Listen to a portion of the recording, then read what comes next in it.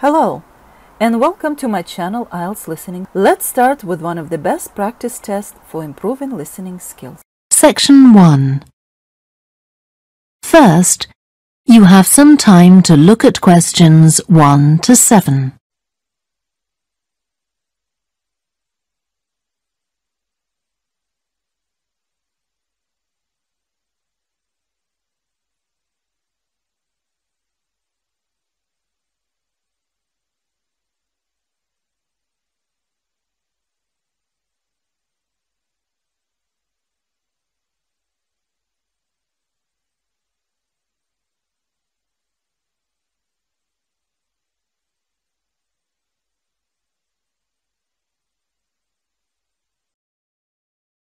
Now we shall begin.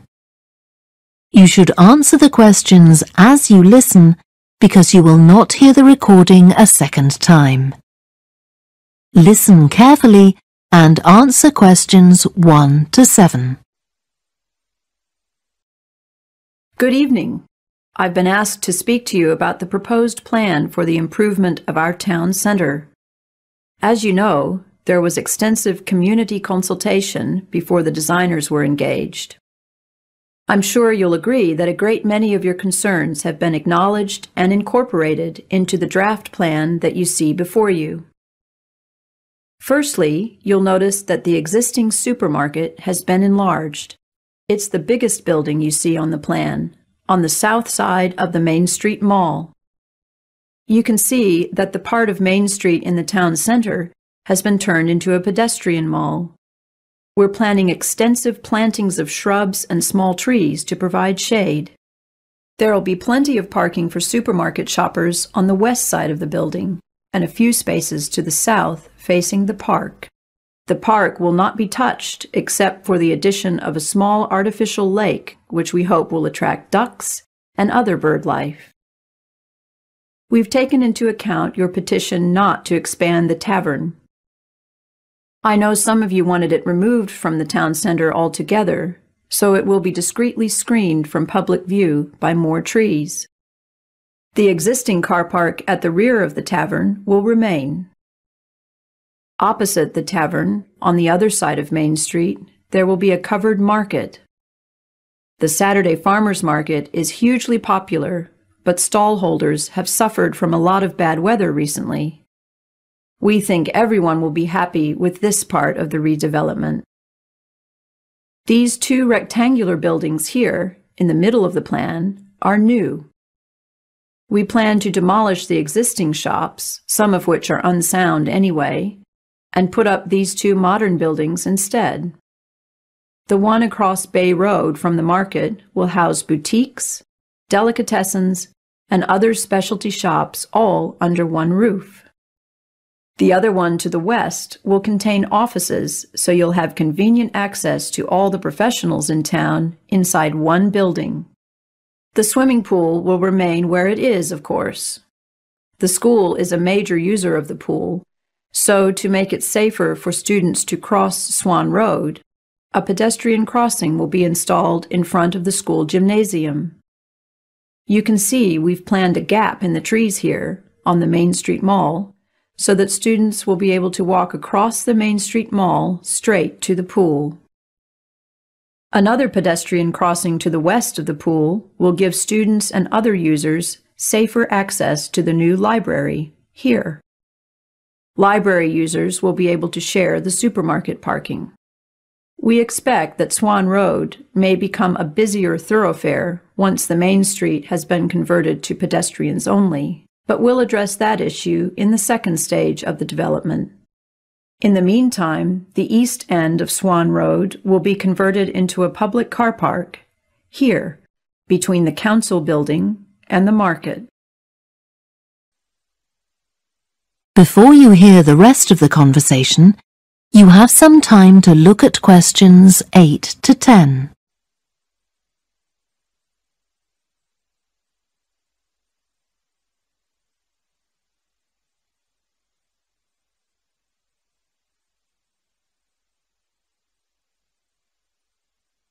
Now listen and answer questions 8 to 10. Are you looking to move into a flat soon? I hope so, yes. The thing is, we have a few flats at the moment that we'd like to get rented out by the end of the month. I see. They're all good flats, and at the price you want. There's one in Eastern Towers, one in Granby Mansions, and another in Busby Garden. All three are nice blocks of flats. Could you tell me where they are? I'm at the train station at the moment. Eastern Towers, if you're coming from the station, isn't very far. Cross over City Bridge, then go left, and where the road divides, you want the right-hand fork. You'll see Eastern Towers on the left side of the road. It's a lovely building with trees around it. That sounds nice. What about Granby Mansions? The best way to get there from the station is probably to go down River Road and then cross over Old Bridge. The road bends to the right round the park, and if you follow along, you'll find it there on the left side. That's a great location with lovely views of the park. Very nice. And you said there was one more? Busby Garden, yes. Okay, from the station, cross over City Bridge, keep going through the first crossroads until you come to the second crossroads. Busby Garden will be facing you over to the right side. It's very convenient for the shops. Fine, thank you. Well, I'll see you on Saturday. That is the end of section one. You now have half a minute to check your answers.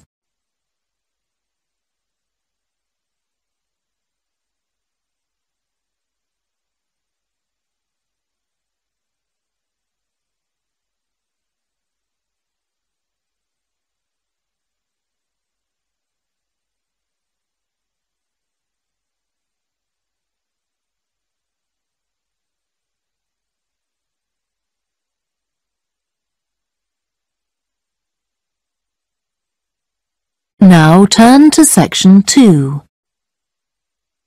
Section 2 First, you have some time to look at questions 11 to 17.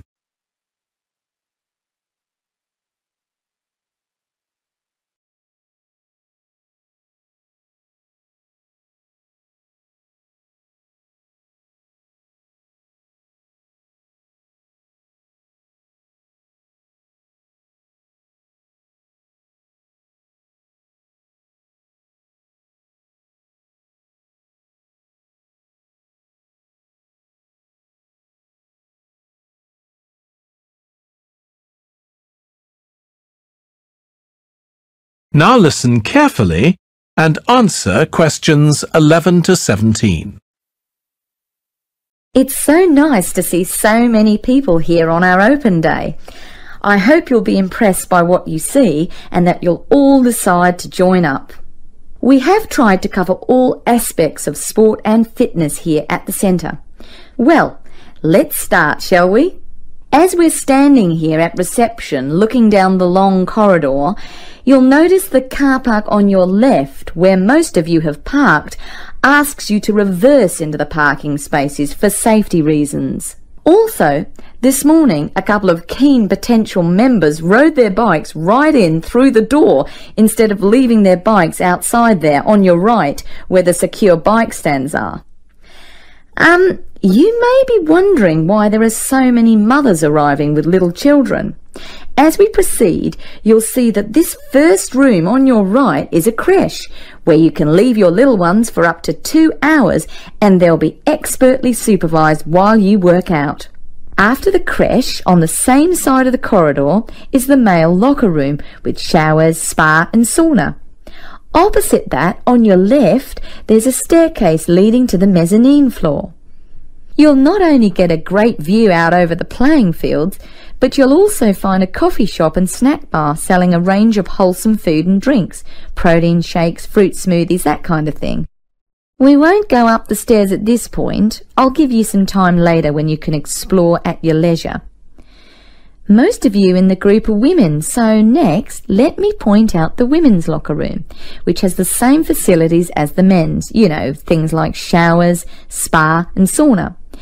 It's separated from the men's locker room by an office which the staff mainly use for administrative purposes.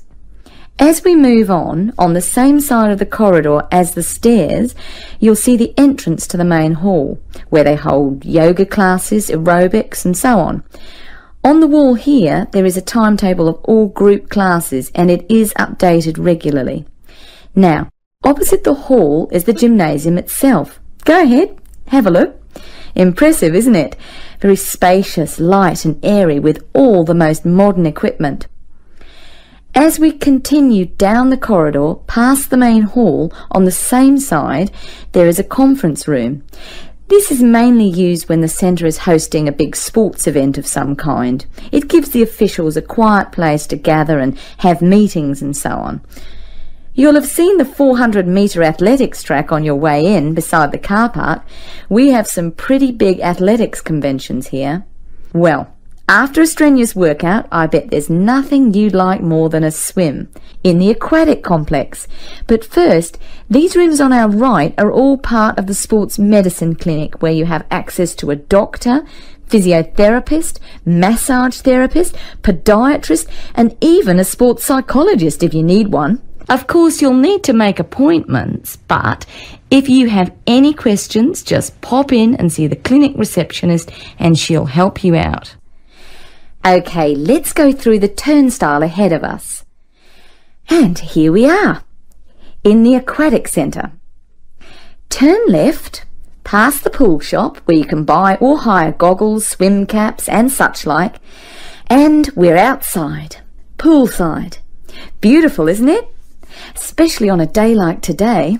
Go on, dip your toes in the water and if that's not warm enough for you, then I'll take you to the indoor pool, which is less than half the size, but heated to 32 degrees. Let's go back past the pool shop and through the double doors to the indoor pool. Well, that's all I have time to show you.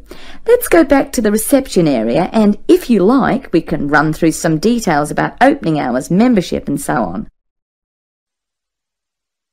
Before you hear the rest of the conversation, You have some time to look at questions 18 to 20.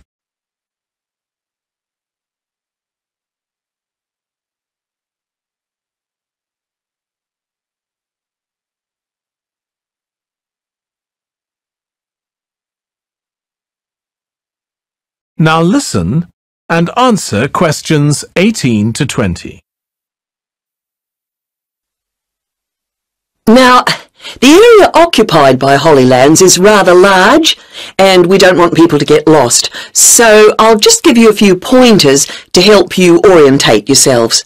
So, uh, whether you come by car or bicycle, you'll come in from the road. Cars then park to the left through the gates into the car park and bikes to the right through the gates opposite. Cyclists in particular might be feeling thirsty at this point and you can get a drink from the machine at the end of the bike park halfway to the museum entrance. You can enjoy your drink in the picnic area, which is opposite the car park. For anyone who doesn't have a mobile phone, there are payphones at the far end of the picnic area. Over at the opposite end of the picnic area, across the path, are the toilets. Next to them, and just to the right of the entrance to the main museum, is the first aid room, which we hope you won't need, but it's there in case you do. If you have any queries, please go to the manager's office, which is behind the picnic area. And last but not least, you'll need to buy your tickets or show your group pass to the ticket office on the left of the museum entrance. Okay, I'll pause there. Um, are there any questions at this point?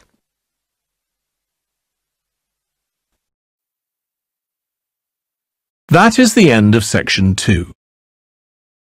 You now have half a minute to check your answers.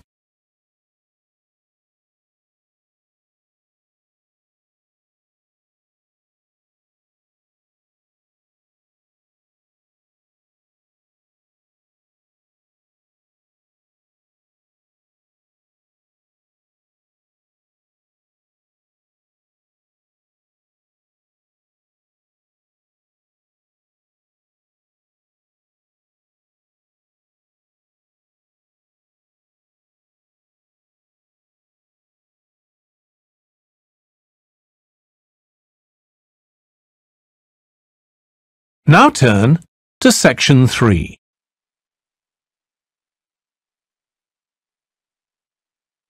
Section 3. First, you have some time to look at questions 21 to 24.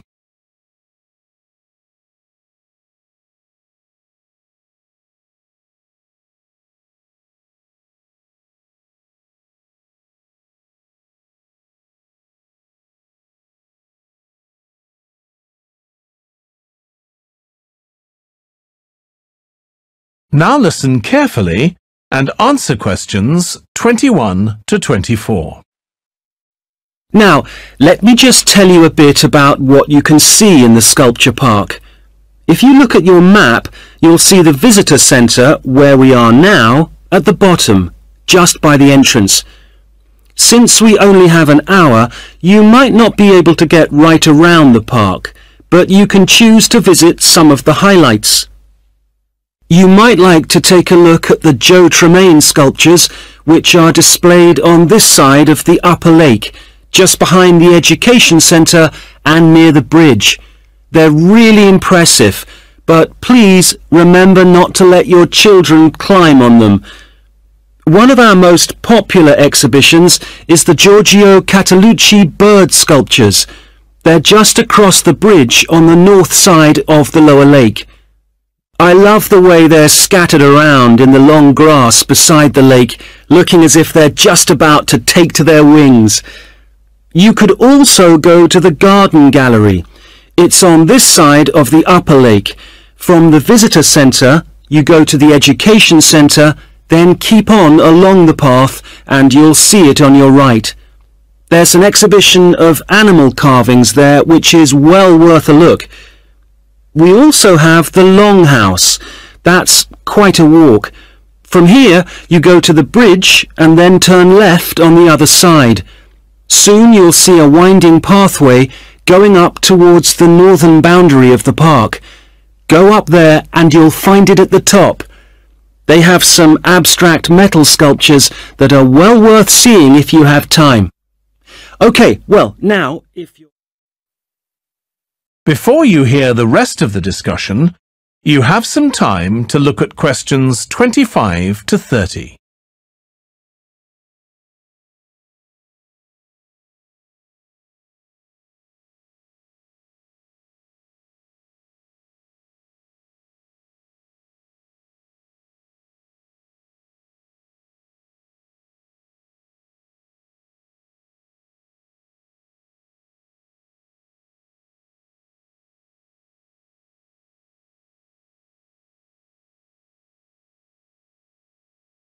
Now listen and answer questions 25 to 30.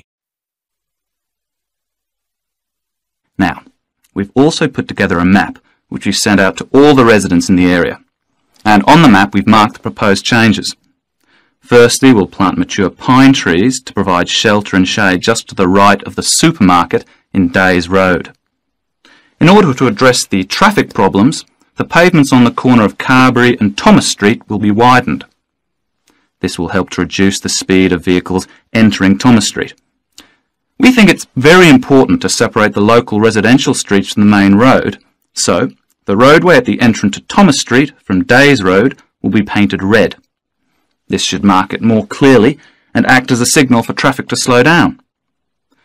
One way of making sure that the pedestrians are safe is to increase signage at the intersections. A Keep Clear sign will be erected at the junction of Evelyn Street and Hill Street to enable traffic to exit at all times. Something we're planning to do to help control the flow of traffic in the area is to install traffic lights halfway down Hill Street where it crosses Days Road. Now, we haven't only thought about the cars and traffic, of course, there's also something for the children. We're going to get school children in the area to research a local story, the life of a local sports hero, perhaps and an artist will incorporate that story into paintings on the wall of a building on the other side of Hill Street from the supermarket. And finally, we've agreed to build a new children's playground, which will be at the other end of Hill Street, close to the intersection with Carberry Street. Wonderful. Now, what's the next stage? Well, the final plan That is the end of section 3. You now have half a minute to check your answers.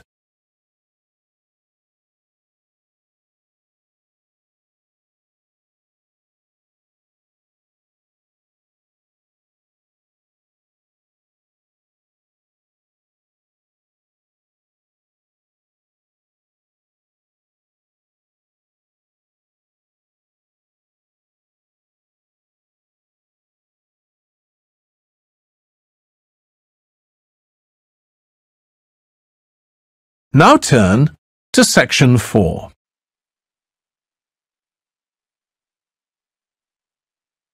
Section 4. First, you have some time to look at questions 31 to 40.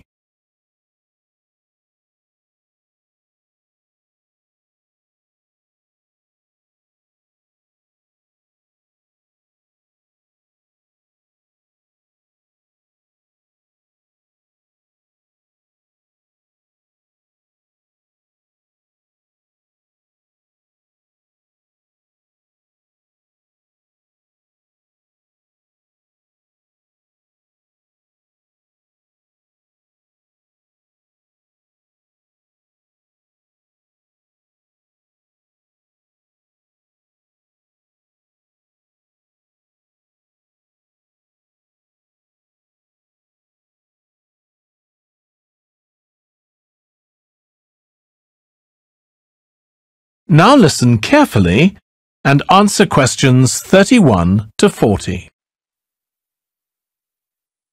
Now, if I can just show on this wall map here where they all are, uh, you might like to go and have a look round. If you come into the main university entrance, at the first junction, you'll find that Brown Hall is on the corner opposite the theatre. So you're nice and near the station here, though I think it can get a bit noisy with traffic. The same applies to Blake Residence, which is directly facing the junction to the university entrance. These halls are often used by medical students and such like, as they're out all day, so don't notice the noise. Anyway, if you then walk along Campus Road towards the main circle, you'll see the library on the corner, and Queen's Building is just past that as you head north. You will find that it is quieter here, and you may get fewer visitors. By the way, the circle is quite a feature of the campus, as it's set into the hills and has a brand new sports center in the middle. It's worth going to look around it. Now, the Parkway Flats are on the opposite corner to the library, facing the circle, as you head towards the main buildings. The main buildings are only about a five-minute walk from here, and places in these halls go quickly, so my advice is to reserve your place as soon as possible. Then Temple Rise is inside the circle, next to the sports center, but further from the main university buildings. Now, if you'd like to go off and physically look...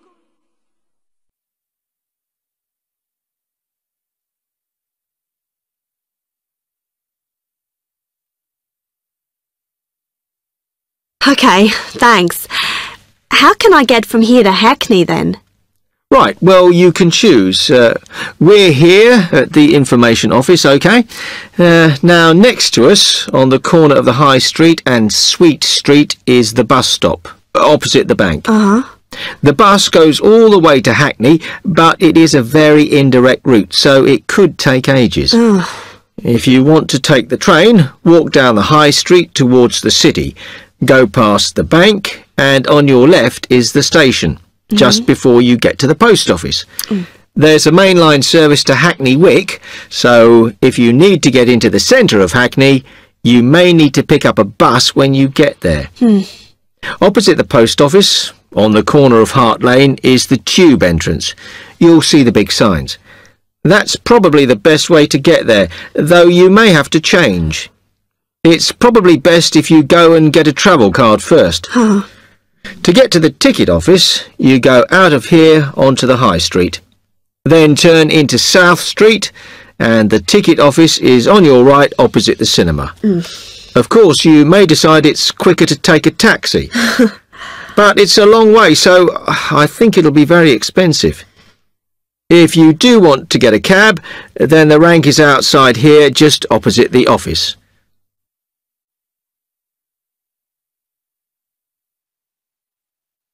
That is the end of section 4. You now have half a minute to check your answers.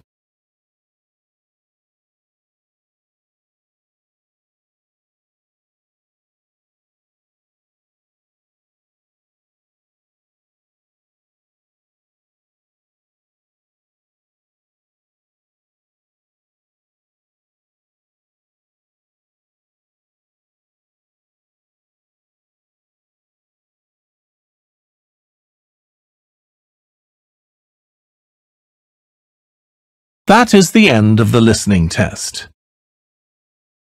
In the IELTS test, you would now have 10 minutes to transfer your answers to the answer sheet.